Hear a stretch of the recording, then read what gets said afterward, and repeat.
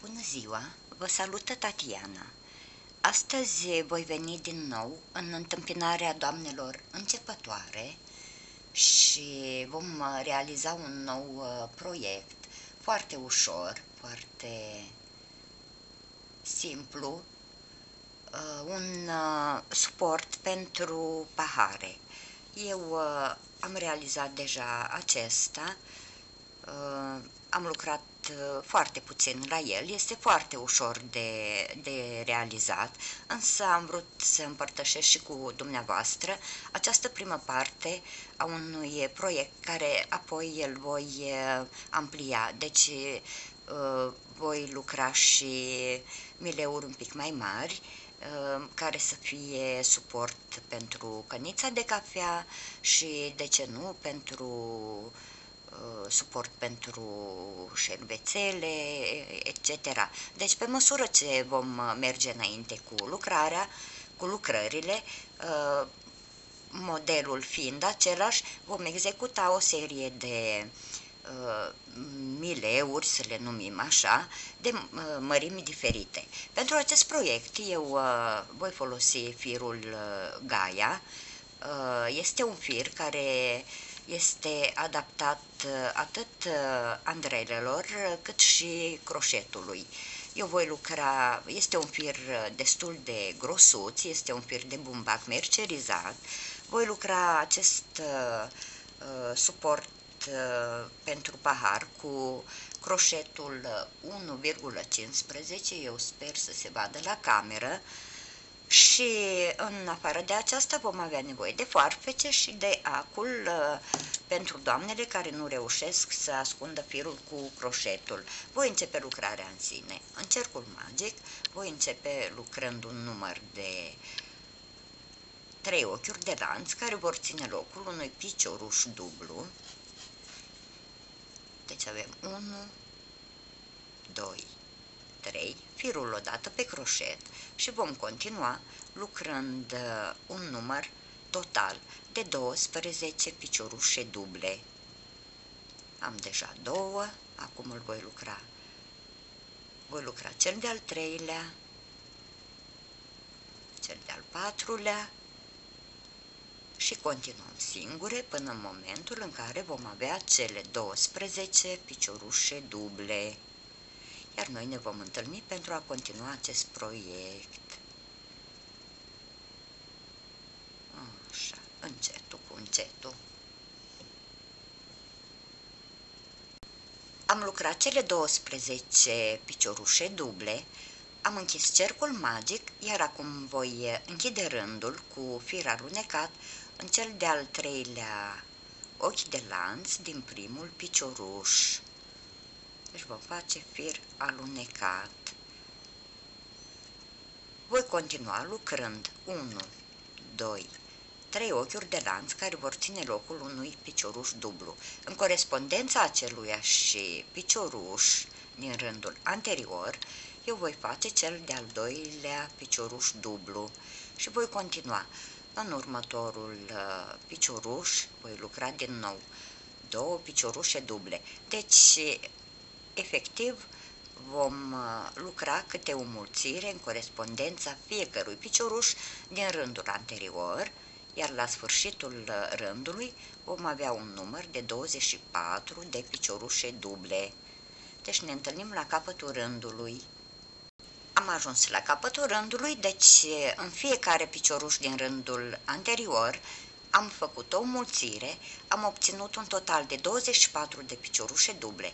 Acum voi închide acest rând în corespondența celui de-al treilea ochi de lanț din uh, primul picioruș. Din acest moment voi face din nou trei ochiuri de lanț care vor ține locul unui picioruș dublu, firul pe croșet odată.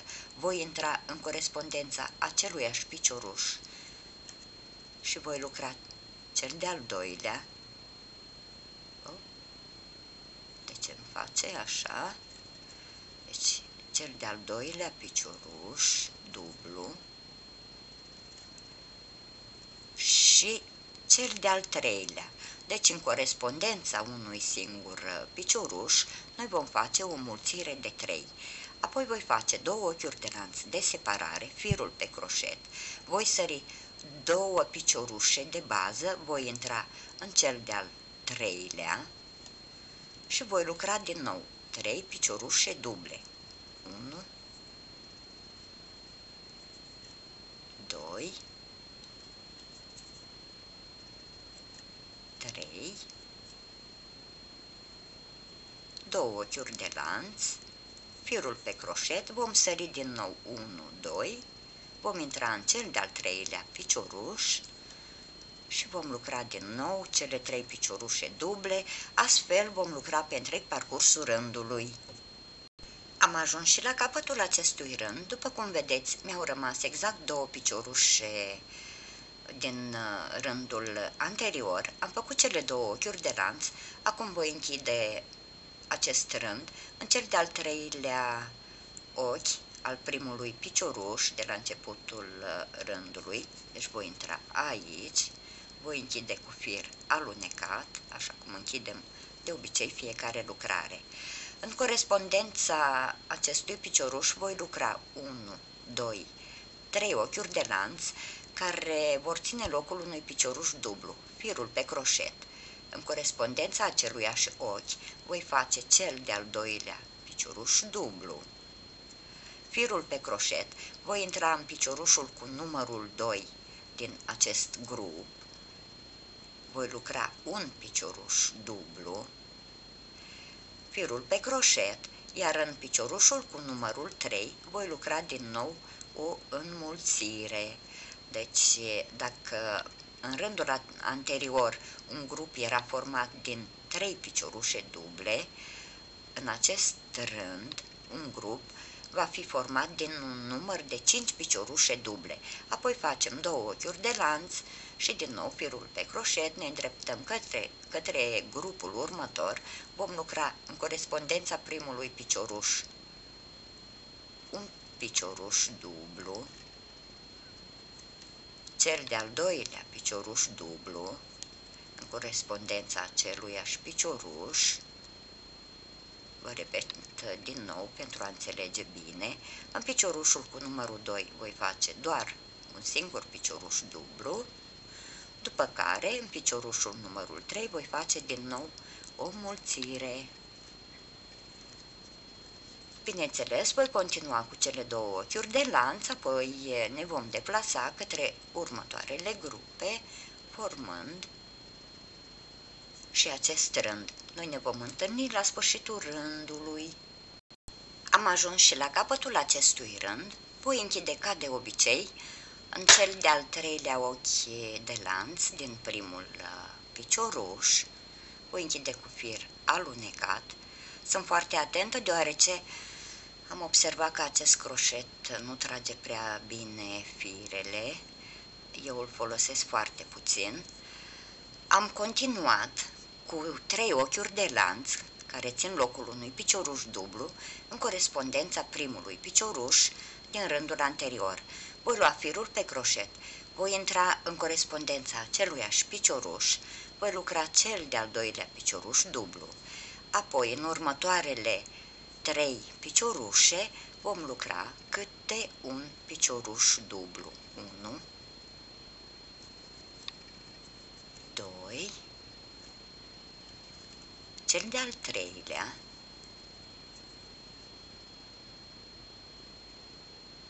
iar în corespondența ultimului picioruș vom face din nou o mulțire Deci, de această dată, fiecare grup va fi format din șapte piciorușe duble, deoarece efectuăm o, o mulțire în primul picioruș și în ultimul picioruș al grupului din rândul anterior. Voi face din nou cele două ochiuri de lanț de separare, după care voi trece din nou la grupul următor și voi lucra în primul picioruș dublu din rândul anterior, păi, o mulțire, urmat de trei piciorușe duble, trei piciorușe consecutive,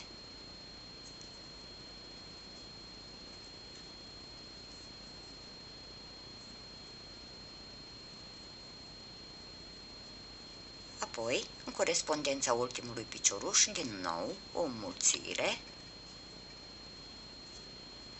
și astfel vom obține grupul de șapte piciorușe duble, separate fiecare grup de două ochiuri de lanț.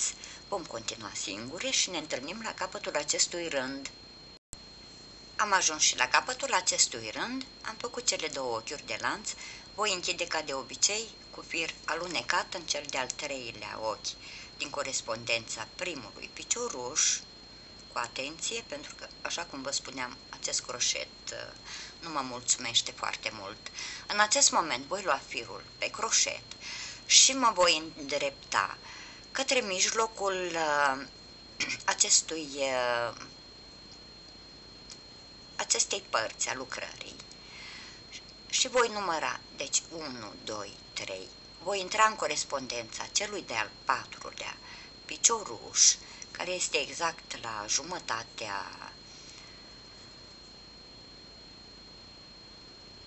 acestei părți de lucrare și voi lucra un picioruș dublu, firul pe croșet, în corespondența aceluiași picioruș. Deci voi face cel de-al doilea, 2,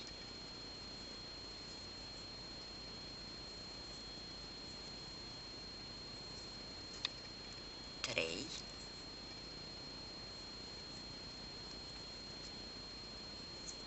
patru,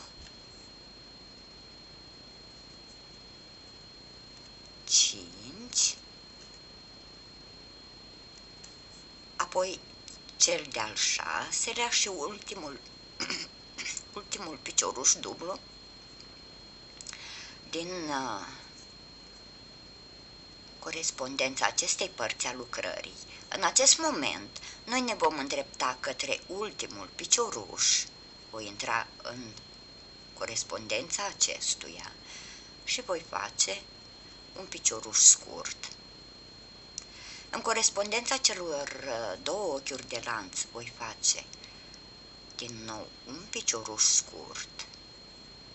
Voi intra în corespondența primului picioruș din uh, spațiul următor și voi face un fir alunecat, după care iau din nou firul pe croșet, mă voi îndrepta către piciorușul cu numărul 4, deci pe mijlocul acestui raport și voi lucra din nou cele șase piciorușe duble. 1, 2,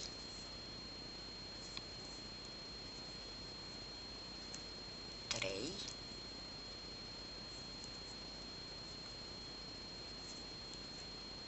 4,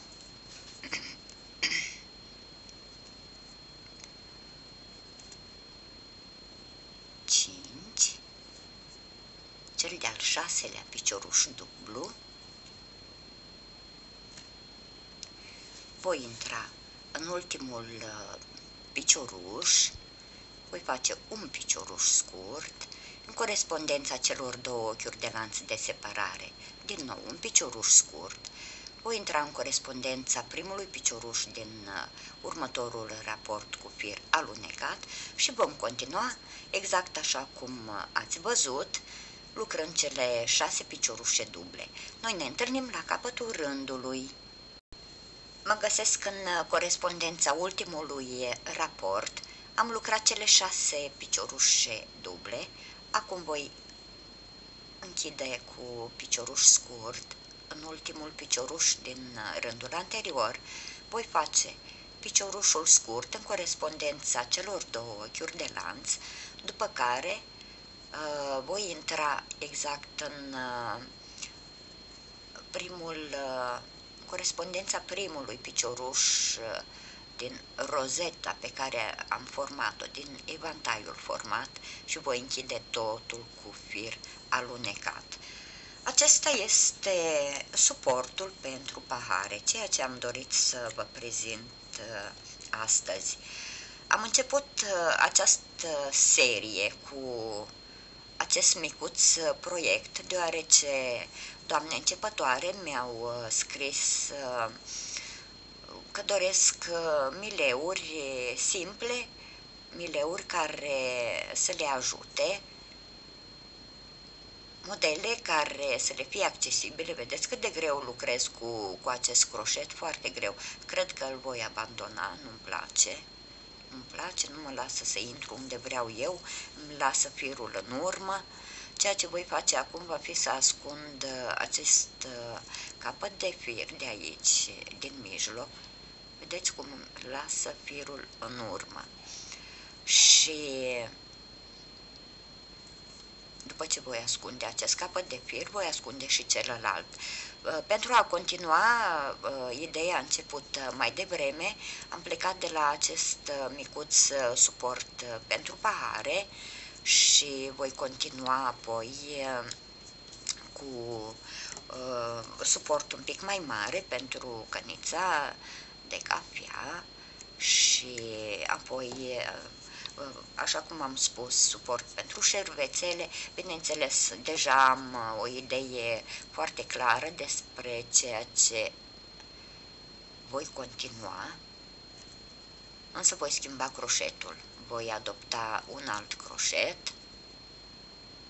pentru că acesta mă nemulțumește foarte mult, îmi dă probleme și nu îmi place. Dacă croșetul nu este bun, ne împiedică foarte mult în executarea lucrărilor noastre. Aceasta pentru a face o paranteză. Bineînțeles, uh, pentru doamnele care mi-au scris că doresc să continui uh, tutorialele cu din uh, școala de croșetat, modele din croșetul tunisian. Ia uitați-vă ce frumos este. Bă, mă laud și eu acum, că cine o să mă laude. Vreau să scuzați gluma. Deci, acesta este suportul pentru pahar. Uitați cât de bine se aranjează un pahar pe, pe acest suport. Da. Mie îmi place. Dacă v-a plăcut ceea ce v-am prezentat astăzi, vă rog să lăsați un like, un comentariu, pe mine mă ajută foarte mult în creșterea comunității. Celor care mă urmăresc, vă mulțumesc foarte mult, vă mulțumesc pentru cuvintele frumoase, pentru mesajele, pentru comentariile atât de frumoase care practic îmi, îmi intră uh, în suflet. Ca de fiecare dată, eu uh, închei spunându-vă din nou uh, uh, vă iubesc, Vă îmbrățișez cu drag pe fiecare dintre dumneavoastră. Vă doresc tot binele din lume și ne vom întâlni cu noi tutoriale. Sunt Tatiana și vă aștept din nou alături de mine. La revedere!